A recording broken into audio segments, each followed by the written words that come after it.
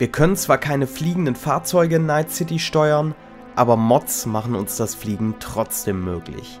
Wie das funktioniert und welche Mods es sonst noch so gibt, zeige ich euch heute.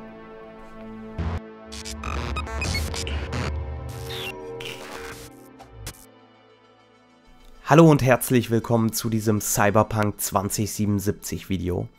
Wir warten nach wie vor auf Infos zu den kommenden DLCs und Erweiterungen für Cyberpunk. Die meisten von uns haben das Spiel bereits durchgespielt und fragen sich jetzt eventuell, was es noch zu tun gibt. Eine Möglichkeit ist da mit Sicherheit das Ausprobieren von Mods. Weil die Modding-Community ist riesig und auch wenn es für Cyberpunk noch keine offiziellen Modding-Tools gibt, ist die Anzahl an Mods, die wir jetzt schon runterladen können, nicht zu verachten.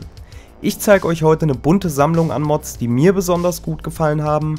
Bleibt auf jeden Fall bis zum Schluss dran, weil später zeige ich euch in dem Video noch eine Möglichkeit, wie ihr als männlicher Wie eine Romanze mit Judy starten könnt. Alle Links zu den Mods findet ihr unten in der Videobeschreibung. Fangen wir mit der wohl wichtigsten Mod an. Cyber Engine Tweaks behebt nicht nur Performance-Probleme und einige Abstürze, sondern ermöglicht euch auch das Benutzen einer Ingame-Konsole, in die ihr verschiedene Befehle eingeben könnt. Wichtiger ist allerdings, dass einige der folgenden Mods nur in Zusammenhang mit Cyber Engine Tweaks funktionieren. Und damit kommen wir dann auch schon zur zweiten Mod auf meiner Liste oder der ersten richtigen Mod. Freefly macht genau das, was der Name bereits vermuten lässt. Die Mod erlaubt es euch, frei durch Night City zu fliegen. Dabei könnt ihr auch durch Gebäude und Objekte hindurchfliegen und so zu geheimen Orten gelangen, die man ansonsten nicht erreichen kann, wie zum Beispiel das Orbital Airspace Center. Mit einem Hotkey, standardmäßig ist das die Taste 5, könnt ihr vom Boden abheben und Night City aus der Luft bestaunen.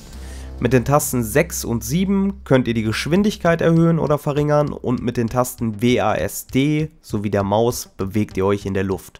Das funktioniert alles ziemlich intuitiv. Während ihr in der Luft seid, wird die Zeit angehalten, damit euch die Schwerkraft keinen Strich durch die Rechnung macht. Für diese Mod müsst ihr wie vorhin erwähnt Cyber Engine Tweaks installiert haben. Zurück am Boden sorgt die Mod Better Vehicle Handling für ein besseres Fahrverhalten von Autos und Motorrädern.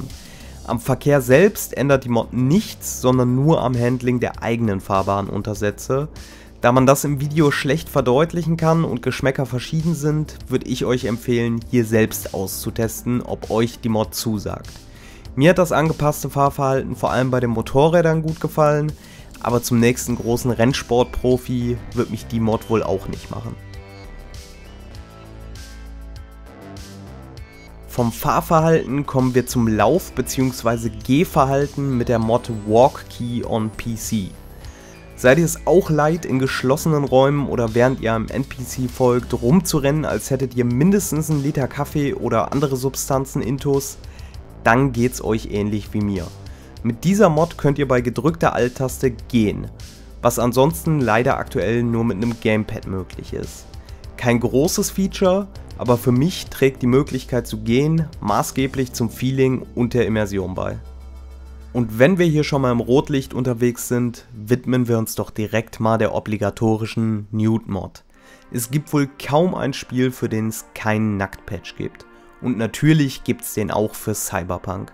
Denn obwohl man seinen Charakter in der Charaktererstellung und im Inventar komplett nackt sehen kann, ist das im Fotomode nicht möglich. Da trägt wieder nämlich plötzlich Unterwäsche. Der Underwear Remover schafft da Abhilfe und entfernt die überflüssigen Textilien, was ich hier allerdings natürlich nur zensiert zeigen darf. Um euch mit eurer neu gewonnenen Freiheit noch besser in Szene setzen zu können, hilft euch die folgende Mod. Cyberpunk 2077 Camera Tools ist quasi eine verbesserte und umfangreichere Version des Fotomodes.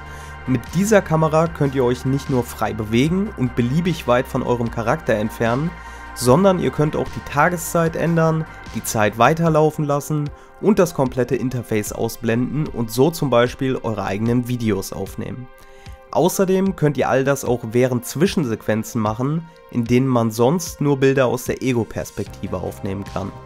Die Installation und Konfiguration ist hier etwas komplizierter als bei den anderen Mods, lasst mich also in den Kommentaren gerne mal wissen, ob ihr dabei Hilfe braucht, dann mache ich dazu nochmal ein eigenes Video. Wenn ihr jetzt einige Stunden mit den neuen Camera Tools verbracht habt und feststellt, dass euch euer Charakter eigentlich gar nicht mehr so wirklich gefällt, habe ich auch da eine Lösung für euch. In Cyberpunk 2077 ist es leider bisher nicht möglich, seinen bereits erstellten Charakter im Spiel noch optisch anzupassen. Hier hilft die Mod Arasaka Appearance Updater. Ihr müsst das heruntergeladene Archiv nur in euren Windows-Benutzerordner entpacken und anschließend die Exe-Datei darin öffnen. Nun sollte das Programm automatisch den Ordner mit euren Cyberpunk Save Games erkennen. Sollte das nicht der Fall sein, könnt ihr diesen mit einem Klick auf Browse auch manuell suchen. Standardmäßig wird das letzte Save-File ausgewählt, ihr könnt euch aber auch für ein beliebiges anderes entscheiden. Klickt anschließend auf Load und die Werte eures Charakters werden geladen. Hier könnt ihr nun einen anderen Haarschnitt und verschiedene Optionen für euer Gesicht wählen. Ihr könnt die Cyberware im Gesicht ändern, euch andere Tattoos verpassen oder euren Hauttyp sowie Piercings und Make-up neu festlegen. Die Mod ist noch Work in Progress, daher kann man bisher beispielsweise leider noch nicht die Haarfarbe ändern. Wenn ihr jetzt mit euren Änderungen zufrieden seid, klickt ihr auf Update und anschließend auf Deploy. Ihr solltet vorher aber sicherheitshalber ein Backup von eurem Save-File machen. Wenn ihr den Spielstand jetzt in-game ladet, erwartet euch euer angepasster Charakter. Auch wenn die Lösung nicht perfekt ist, ist es trotzdem besser als komplett von vorne anfangen zu müssen und erspart euch eine Menge Zeit. Zeit erspart euch auch die nächste Mod, denn mit Instant Disassembling and Crafting könnt ihr Gegenstände direkt herstellen, ohne dafür eine halbe Sekunde lang die Taste drücken zu müssen. Das ist gerade dann hilfreich, wenn man massenweise Munition oder andere Gegenstände herstellt oder seinen Crafting-Skill verbessern möchte. Das gleiche gilt auch für das Zerlegen jeglicher Items. Zuletzt kommen wir jetzt noch zu einer Mod, die euch einige Cheat-Möglichkeiten gibt und euch außerdem das Teleportieren an verschiedene Orte und eine Romanze mit Judy als männlicher V erlaubt. Für die Mod Simple Menu benötigt ihr zuallererst wieder die Cyber Engine Tweaks. Wenn ihr im Spiel die Konsole mit der Taste Ö öffnet, sollte dort nun angezeigt werden Simple Menu Loaded Successfully. Daran erkennt ihr, dass ihr beides richtig installiert habt. Mit der Taste Ende, welche sich über den Pfeiltasten befindet, könnt ihr im Spiel nun das Simple Menu öffnen. Ihr müsst währenddessen die Konsole offen lassen, damit ihr einen Mauscursor seht. In dem Menü könnt ihr euch jetzt beliebig viel Geld oder Materialien sowie Munition und andere Verbrauchsgegenstände direkt ins Inventar cheaten. Außerdem könnt ihr euch so auch ikonische Ausrüstung oder Waffen herbeizaubern, die ihr ganz einfach aus einer Liste auswählen könnt. Unter dem Reiter Player könnt ihr euer eigenes Level oder das Street Cred Level erhöhen und euch beliebig viele Attributs- und Vorteilspunkte zuweisen. Der nächste Tab bietet euch die Möglichkeit, euch mit einem Klick zu den verschiedensten Orten zu teleportieren, unter anderem zu Wies Menschen, die man sonst nur über Glitches oder im Secret Ending erreichen kann. Im Reiter Vehikel könnt ihr alle Fahrzeuge, die man im Spiel kaufen kann, freischalten und auswählen, dass Fahrzeuge direkt an eurer Position erscheinen und nicht erst zu euch hinfahren. Der Tab Misk hält einen God Mode parat, der euch unsterblich macht, aber passt vor eigenen Explosionen auf. Und der Reiter Quest bietet euch verschiedene questspezifische Optionen und die Möglichkeit, auch als männlicher wie eine Romanze mit Judy eingehen zu können, was sonst nur mit einem weiblichen Charakter möglich ist. Hierfür müsst ihr die Option anklicken, nachdem ihr den Generator in der Mission Pyramid Song repariert habt. Es wird aber geraten, ein Backup-Save-File zu erstellen, falls das Ganze nicht funktioniert. Die Funktion habe ich selbst noch nicht ausprobiert, aber lasst mich doch mal in den Kommentaren wissen, ob das bei euch funktioniert hat. Das Menü bietet noch eine Vielzahl an weiteren Optionen, die größtenteils selbsterklärend sind, Falls ihr aber noch zu einer der Mods Fragen habt oder mehr dazu sehen wollt, schreibt mir das einfach in die Kommentare, dann mache ich dazu noch ein separates Video. Ihr könnt mir auch auf Twitch folgen, da bin ich am Mittwoch um 23 Uhr das nächste Mal live und beantworte auch immer gerne eure Fragen.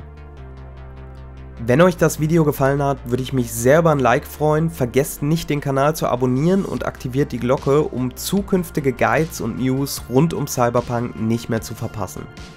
Schaut euch außerdem auch mein letztes Video an, wo ich über die Zukunft von Cyberpunk rede oder guckt euch den Guide zum Secret Ending an, um zu erfahren, wie ihr das geheime Ende ganz unkompliziert freischalten könnt. Das war's jetzt erstmal von mir. Vielen Dank fürs Zuschauen, bleibt gesund und bis zum nächsten Mal.